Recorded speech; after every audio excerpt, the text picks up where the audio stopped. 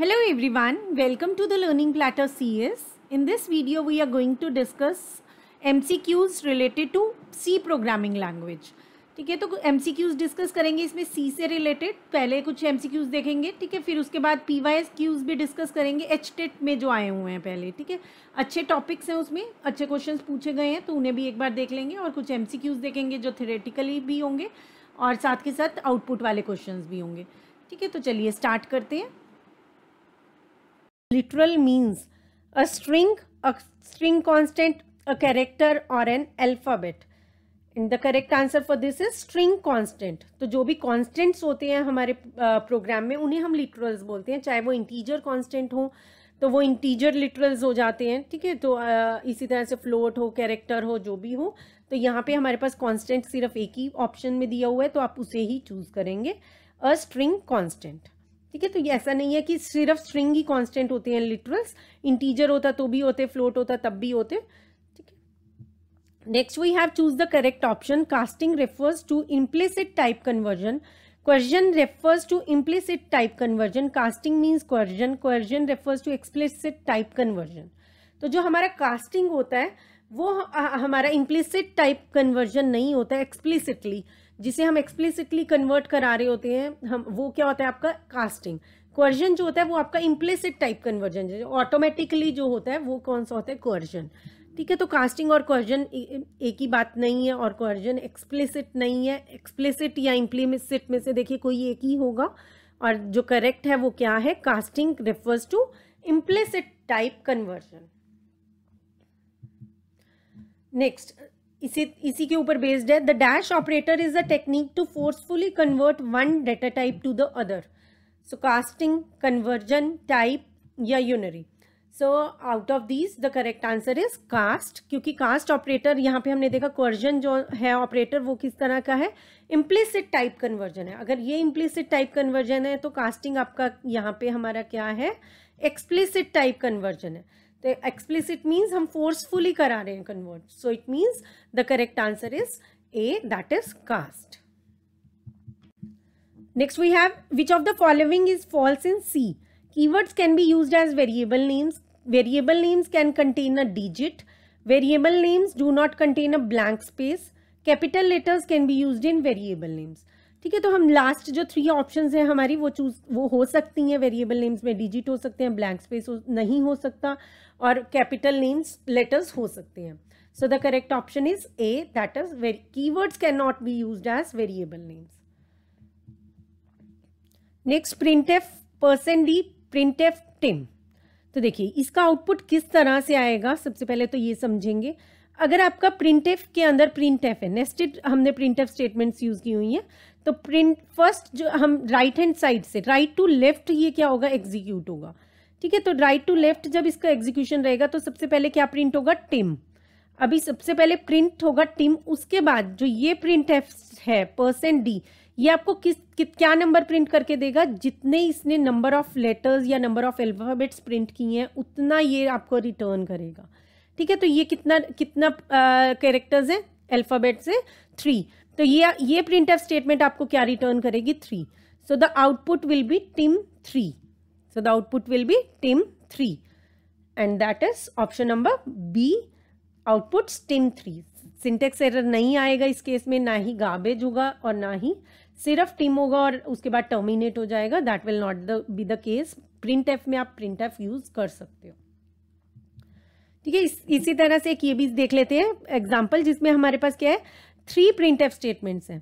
देखिए एक्स की वैल्यू क्या है? इनिशियलाइज की हुई है 1987 तो सबसे पहले हम पहुँचते हैं right hand side rightmost printf के पास। तो ये क्या प्रिंट करेगा? 1987 प्रिंट इसी सीक्वेंस में होगा। प्रिंट इस तरह से होगा। प्रिंट ये नहीं कि इसके बाद वाला प्रिंट इसके आगे प्रिंट करेगा? नो प्रिंट इसके बाद ही होगा। सबसे पहले ये प्रिंट हो गया आपका स्क्रीन पर उसके बाद परसेंट डी अब इसने देखिए कितने नंबर ऑफ़ लेटर्स रिटर्न किए हैं, कितने डिजिट्स हैं फोर तो ये क्या रिटर्न करेगा? फोर उसके बाद क्या लिखाएगा आपके पास? फोर अब ये प्रिंट एफ़ ने, इस वाले प्रिंट एफ़ को काट दीजिए। इसने तो नाइनटीन एट्टी सेवन प्रिंट कर दिया। उसके बाद इस वाले प्रिंट एफ़ ने क्या प्रिंट किया? फोर ठीक है तो फोर हमारा प्रिंट हो गया। अब इस वाले प्रिंट एफ़ को और क्या रिटर्न होगा कि इस प्रिंट एफ़ ने सेकेंड वाले प्रिंट एफ़ ने कितने डिजिट्स रिटर्न किए हैं? इसने देखिए कितने डिजिट्स रिटर्न किए हैं सिंगल डिजिट रिटर्न की है। तो इस जो हमारा सबसे बाहर है प्रिंट एफ़ तो उसके पास क्या आ जाएगा, वो क्या प्रिंट करेगा? सिंगल वन ओनली वन ठीक है? चलिए। Next we have output of the following program segment x is equal to five है y is equal to x plus plus है प्रिंट एफ़ कराना है एक्स और वाई की वैल्यूज़ को। तो देखिए एक्स की वैल्यू क्या है? फाइव है। और y में हम क्या करा रहे हैं? X प्लस प्लस तो जो भी x की वैल्यू होगी, वो पहले कहाँ स्टोर हो जाएगी? Y में। ठीक है, वो पहले एलोकेट हो जाएगी और उसके बाद x में क्या होगा? इंक्रीमेंट होगा, क्योंकि ये क्या आपका पोस्ट इंक्रीमेंट ऑपरेटर है। प्री इंक्रीमेंट के केस में क्या होता है? पहले वैल्यू प्लस वन प्लस हो जाएगा और फिर एलोकेट होती है।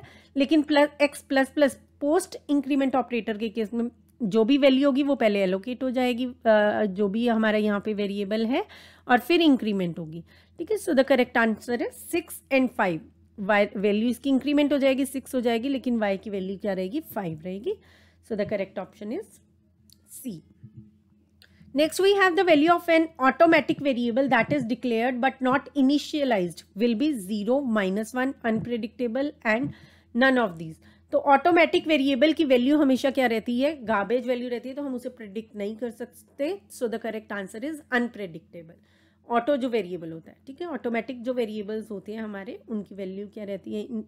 अगर हम इनिशियलाइज नहीं करते हैं garbage next we have consider the following program main और इसमें आप देखिए फ्लोट ए क्या वैल्यू है? ज़ीरो पॉइंट फाइव बी की क्या वैल्यू है? ज़ीरो पॉइंट सेवन तो यहाँ पे इफ़ एल्स हैं, उसे आपको मैनेज करना है, देखना है कि क्या आउटपुट आएगा। If b less than zero point eight b क्या है आपका? ज़ीरो पॉइंट सेवन तो बी क्या है? लेस देन एट है। तो देखिए, ये जो इफ़ है, इसका एल्स ये रहा और इस इफ़ का एल्स ये रहा। ठीक है तो अब इस इफ़ के साथ क्या है? ये अगर हमारी एग्जीक्यूट होंगी। अगर बी क्या है? ज़ीरो पॉइंट सेवन से ज़ीरो पॉइंट एट से कम है या नहीं है? है। तो हमारा कंट्रोल कहाँ जाएगा? इस वाले पोर्शन में जाएगा। ठीक है, अगर ऐसा ना होता तो कहाँ चला जाता कंट्रोल यहाँ पे आ जाता लास्ट वाले एल्स के पास। अब हम जाएँगे सेकेंड इफ़ के पास। सेकेंड इफ़ क्या कहता है कि ए की वैल्यू क्या less less than zero point five है? वो इक्वल है लेस नहीं है। तो इट मीन्स हम कहाँ जाएँगे? इसके पास। तो ये प्रिंट नहीं होगा, क्या एल्स क्या प्रिंट होगा? ये वाला स्टेटमेंट प्रिंट होगी। तो क्या प्रिंट हो जाएगा आपका? P q r so the correct option is p q r next we have the following program fragment this is int star a star a is equals to seven So it will assign 7 to A, result in compilation error, assigns address of A as 7 or segmentation fault. So this is segmentation fault. ठीक है यहाँ पे आपका error आएगा। एक तरह से में इस तरह से कभी भी वैल्यू हम स्टोर नहीं करा सकते। ठीक है उसमें हमें किसी न किसी वेरिएबल का एड्रेस ही स्टोर कराना होता है। नल वैल्यू आप दे सकते हैं, बाकी कुछ नहीं। A pointer variable can be passed to a function as argument changed within function, returned by a function, assigned an integer value तो जो पॉइंटर वेरिएबल है, क्या हम उसे पास कर सकते हैं? पॉइंटर वेरिएबल को हम पास नहीं कर सकते, हम पास क्या करते हैं? एड्रेस करते हैं। और जहाँ पे रिसीव कर रहे होते हैं, वहाँ पे फिर हम कोई भी पॉइंटर वेरिएबल डिक्लेयर करके उसे रिसीव कर लेते हैं। ठीक है तो जब पास करते हैं तो हम एड्रेस पास कर सकते हैं, कभी भी। पॉइंटर वेरिएबल पास नहीं करते। Changed within a function क्या हम फ़ंक्शन uh, के बीच में उसे चेंज कर सकते हैं? नहीं चेंज कर सकते। और ना ही हम उसे कोई भी इंटीजर वैल्यू असाइन कर सकते जैसा हमने पिछले क्वेश्चन uh, में देखा। हम उसे कभी भी इंटीजर वैल्यू असाइन नहीं कर सकते। उसमें हमें कोई ना कोई एड्रेस ही देना पड़ता है। ठीक है? तो और थर्ड ऑप्शन क्या है? रिटर्न बाय अ फ़ंक्शन तो ये इसका करेक्ट ऑप्शन है C that is a pointer variable can be return by a function तो पॉइंटर वेरिएबल रिटर्न किया जा सकता है, जहाँ से रिटर्न किया जाएगा। तो जो भी उसे रिसीव कर रहा होगा, वो क्या करेगा? पॉइंटर वेरिएबल डिक्लेयर कर लेगा। The loop in which the statements within the loop are executed at least once कम से कम एक बार एग्जीक्यूट होंगी ही होंगी स्टेटमेंट्स वो कौन सा लूप है? डू वाइल वाइल फॉर या go to that is do while loop the control automatically passes to the first statement after the loop जो भी लूप के बाद फ़र्स्ट स्टेटमेंट होगी, वहाँ पे कंट्रोल आपका चला जाएगा कौन सी स्टेटमेंट की हेल्प से? Continue statement break statement switch statement या if statement and the correct answer is break statement. Next, we have this piece of code where main function is given and then long type variable है, i, जिसमें thirty thousand value है। और हम उसे print करा रहे हैं percent D format specifier के साथ।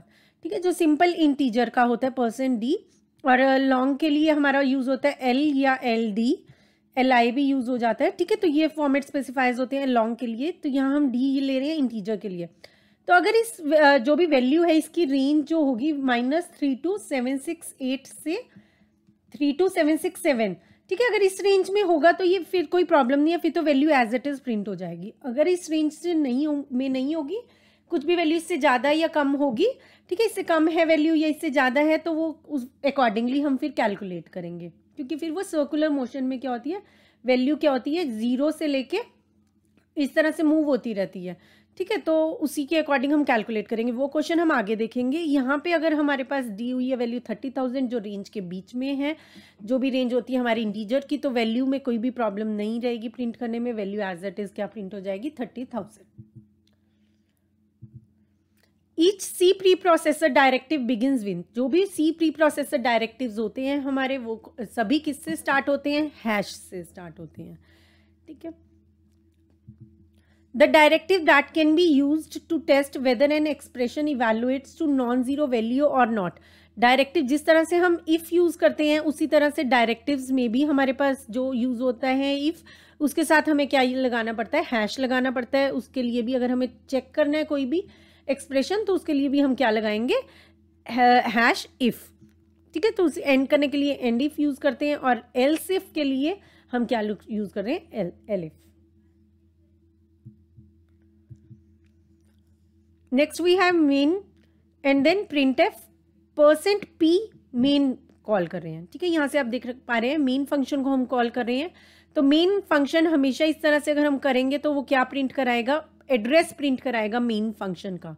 और जो पी होता है, ये प्रिंट कराने के लिए होता है एड्रेस को। ठीक है? तो percent P and main function अगर हम प्रिंट ऑफ़ स्टेटमेंट में लिख रहे हैं तो वो क्या प्रिंट करेगा? Address of main function main function के एड्रेस को प्रिंट कर देगा। Next we have this operator is use for right shifting left shifting bitwise shifting और bitwise complement so this operator is use for left shifting इसी तरह से हमारा ये ऑपरेटर किस लिए यूज़ होता है? राइट शिफ्टिंग के लिए.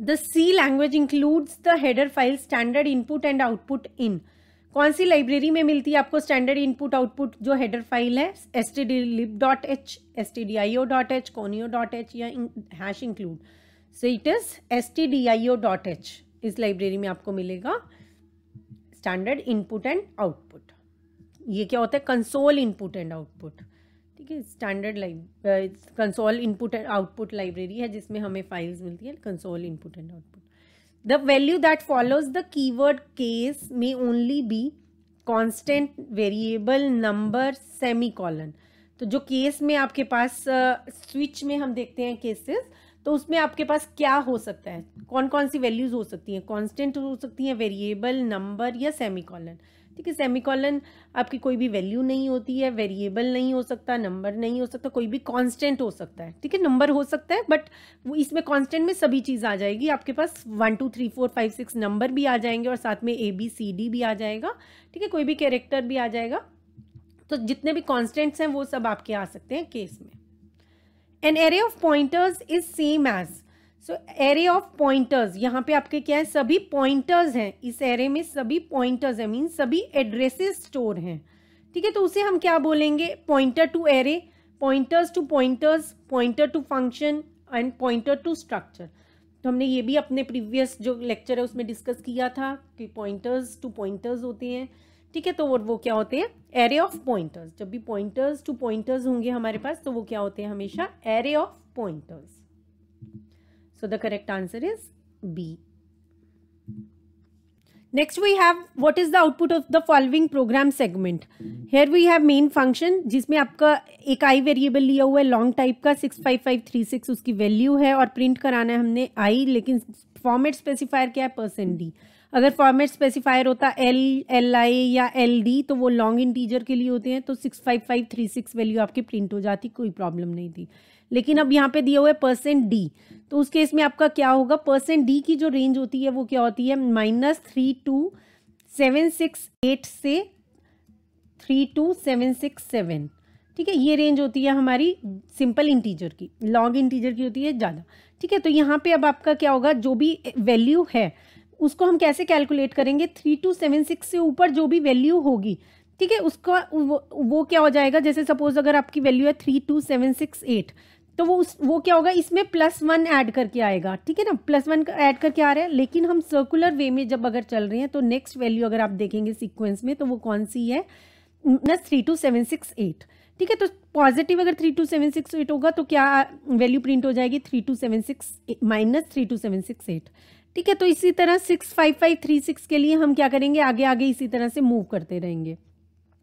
तो अगर आप इसमें ऐड करके देखें three two seven six five eight में three two seven six seven add करते हैं अगर आप तो आपके पास क्या आ जाएगा? Six five five three five ठीक है six five five three five आ गया। तो जब हम उतना ऐड कर रहे हैं तो हम इधर से पहुँचेंगे माइनस वन पे।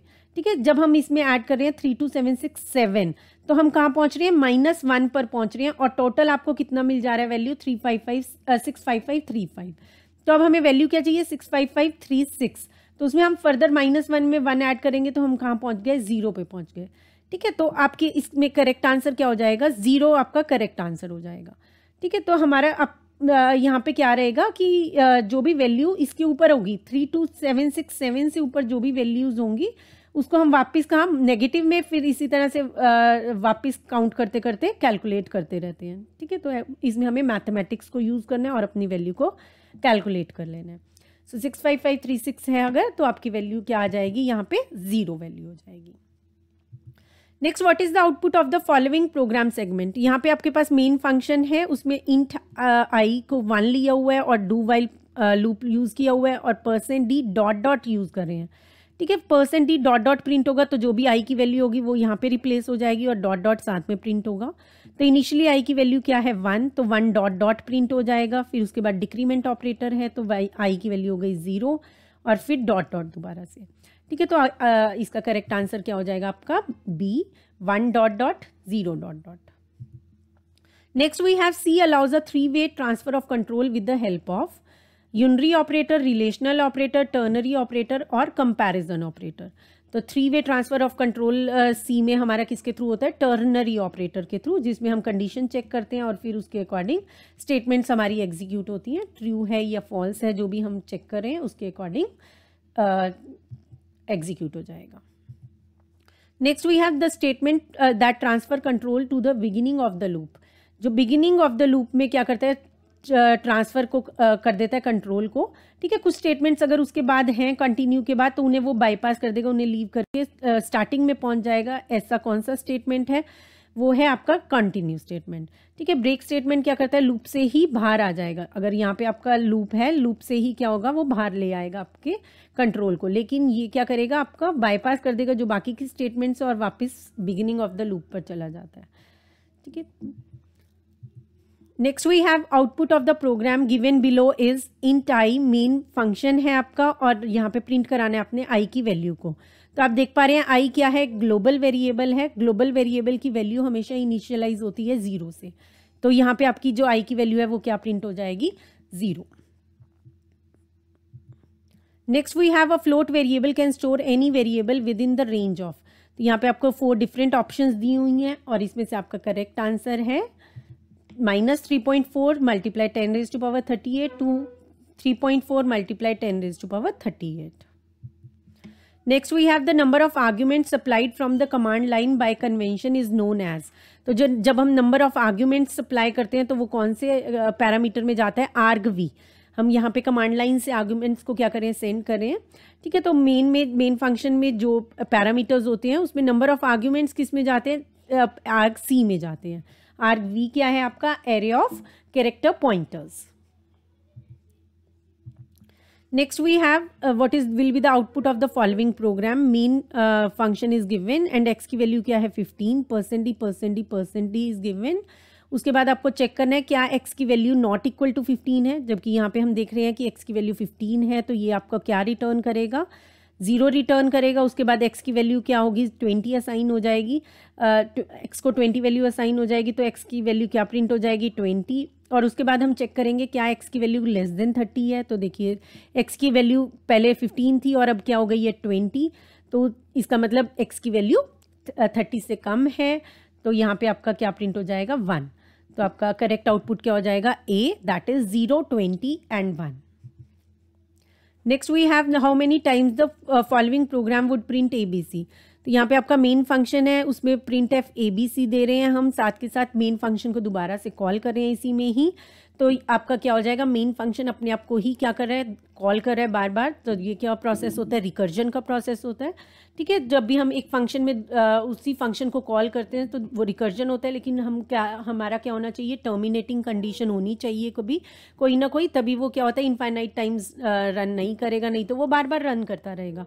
ठीक है? तो यहाँ पे हमारा कोई भी टर्मिनेटिंग कंडीशन आप देख पा रहे हैं नहीं है तो ये क्या होगा? इनफाइनाइट टाइम्स क्या होगा? ये वाला कोड क्या होगा? रन करेगा। इसका मतलब जो ए बी सी है वो क्या आपका प्रिंट होगा? कितनी बार प्रिंट होगा? Infinite number of times next we have given the statement Maruti dot engine dot bolt is equals to twenty five so आपको यहाँ पे बताने क्या चीज़ ट्रू है? तो देखिए, यहाँ पे हम बोल्ट्स में क्या वैल्यू डाल रहे हैं? ट्वेंटी फाइव ठीक है? तो इसका मतलब ये तो क्या है? कोई भी मेंबर है। ये क्या है? मेंबर है। और स्ट्रक्चर क्या है आपके? मारुति और इंजन और देखिए, इंजन के मारुति के अंदर कौन सा नेस्टेड है? स्ट्रक्चर इंजन नेस्टेड है। ठीक है तो यही चीज़ आपको यहाँ पे बतानी है, यही चीज़ आपको यहाँ चेक करनी थी। तो देखिए structure bolt is nested within structure engine नहीं, ये तो मेंबर है तो ये ये हमारा क्या हो गया? गलत हो गया। Structure engine is nested within structure Maruti. जो स्ट्रक्चर इंजन है, वो मारुति स्ट्रक्चर में नेस्टेड है। Yes so this is correct बाकी भी देख लेते हैं structure Maruti is nested sir ये बोल रहे हैं स्ट्रक्चर मारुति जो है इंजन में नेस्टेड है? नो मारुति नेस्टेड है बोल्ट्स में? No so the correct answer is B that is structure engine is nested within structure Maruti we have if a is equals to 5 and b is equals to 7 then the statement p is equals to a greater than b and this. Uh, क्या करेगी? ठीक है तो ये क्या करेगी? Assign करेगी five P को या सेवन असाइन कर देगी पी को या एट असाइन करेगी पी को या एरर मैसेज देगी। तो देखिए, यहाँ पे हमारा ये क्या देगी? एरर मैसेज देगी, क्योंकि टर्नरी जो ऑपरेटर्स होते हैं, वहाँ पे आपने जो भी चेक करा, उसके बाद आपका ये सीक्वेंस रहता है, ठीक है? तो क्वेश्चन मार्क पहले आता है और कॉलन बाद में आता है तो ये क्या आपका दे देगी? एरर मैसेज देगी, ठीक है? तो अगर इस तरह से कोई भी स्टेटमेंट होगी एरर मैसेज आ जाएगा। Next we have if an integer occupies four bytes and character occupy one bytes of memory each element of the following structure would occupy how many bytes तो इस स्ट्रक्चर कोई भी अगर structure होगा जितने भी एलिमेंट्स होंगे, वो कितना स्पेस ऑक्यूपाई करेंगे। ठीक है ना? कोई भी अगर एलिमेंट है, एक हम एलिमेंट ले लेते हैं स्ट्रक्ट नेम स्ट्रक्ट का अगर कोई भी एक हम एलिमेंट लेते हैं name one name two name three तो वो कितना स्पेस ऑक्यूपाई कर रहा है हर एलिमेंट ये आपको बताना है। तो हर एलिमेंट के लिए क्या होगा? एक एज होगा, एक इंटीजर वैल्यू होगी और एक नेम होगा। तो इंटीजर वैल्यू ये क्या बता रहे हैं? फोर बाइट्स लेता है और कैरेक्टर नेम ट्वेंटी तो कैरेक्टर वेरिएबल हर वेरिए हर कैरेक्टर कितना बाइट लेगा? वन तो टोटल यहाँ पे कितने बाइट्स हो गए? ट्वेंटी तो टोटल कितना हुआ आपका? Four plus twenty that is twenty four तो यहाँ पे सिंपली आपका क्या हो जाएगा? ट्वेंटी फोर आंसर आ जाएगा. To access structure element using a pointer एक स्ट्रक्चर एलिमेंट को यूज़ करना है, हमने एक्सेस करना है अगर पॉइंटर की हेल्प से तो कौन सा ऑपरेटर यूज़ करते हैं? तो हम ऑपरेटर यूज़ करते हैं एरो डॉट करते हैं, अगर स्ट्रक्चर के नेम से हम एलिमेंट को यूज़ करें और अगर पॉइंटर के हेल्प से करें तो आप यूज़ करेंगे arrow pointer variable then arrow and after that element का name now this is int star star PTR क्या ये इनवैलिड डिक्लेरेशन है? क्या ये पॉइंटर टू पॉइंटर के लिए डिक्लेरेशन है? पॉइंटर टू इंटीजर या none of the above so this is the declaration for pointer to pointer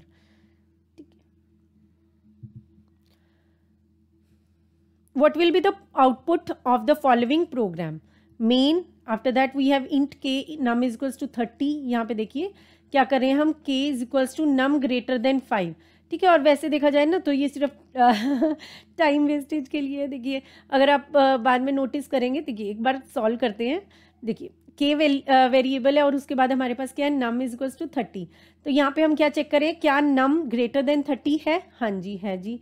उसके बाद हमने क्या करना है? उसके बाद देखिए एक तो ये है स्टेटमेंट उसके बाद कॉलन के बाद ये चीज़ है। तो ग्रेटर देन थर्टी आपका क्या है? नम है। सॉरी ग्रेटर देन फाइव है। तो हम कहाँ पे आ, कौन सी हमारी स्टेटमेंट्स एग्जीक्यूट होंगी? ये वाली। तो यहाँ पे क्या चेक करें? नम क्या लेस देन टेन है? नहीं है। टेन से कम नहीं है।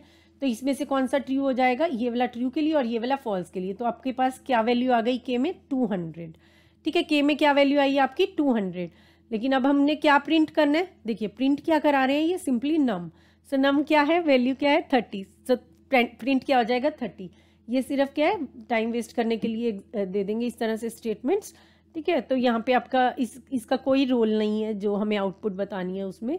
सिंपली so, आपने यहाँ पे क्या करना है? नम की वैल्यू प्रिंट करानी है और वो वैल्यू क्या हो जाएगी? Thirty